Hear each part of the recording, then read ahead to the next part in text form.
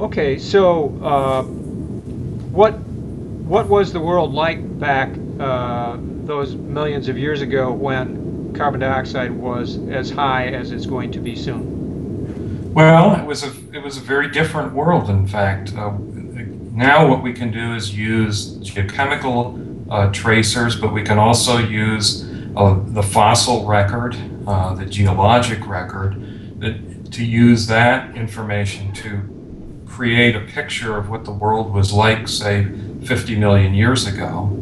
And we know uh, from all of that information, you put it all together, we know that uh, the high latitudes in particular were much warmer uh, than they are uh, today. They were uh, 20 degrees Celsius warmer than they are today, which is you know, a significant uh, change in the climate system we know that uh, there were there are fossils of crocodiles at you know the the the uh, region of the Arctic Circle, and pollen from palm trees. So um, this was a world where you know northern the northern latitudes were more uh, uh tropical in their uh, climate than anything that we've known for the last you know 30 million years or so.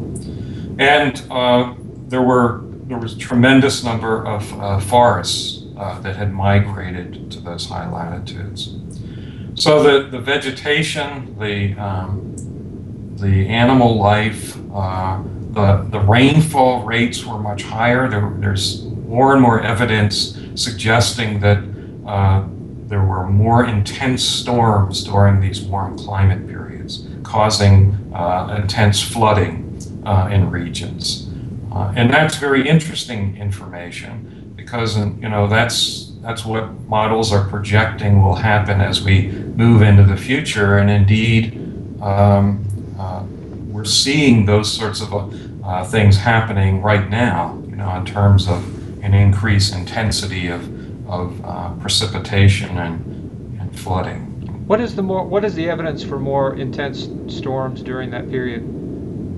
It comes from looking at uh, how things are uh, essentially flushed into rivers and then how those rivers deposit debris out into the ocean. And by looking at essentially uh, old uh, fluvial flows into the ocean and how the silt builds up and, or doesn't build up, uh, the grain size of material that's being washed out into the oceans, uh, you can infer uh, the intensity and strength or strength of, of river flow uh, into the, uh, the ocean regions.